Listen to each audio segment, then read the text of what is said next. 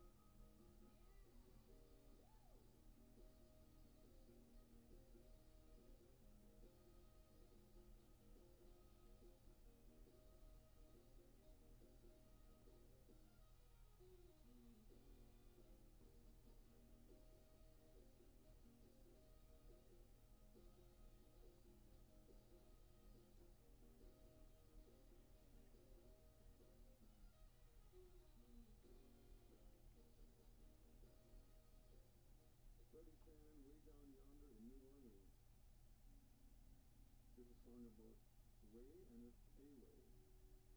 From the movie Top Gun, the band is called Berlin. The lead singer was a great singer. Her name is Terry Young.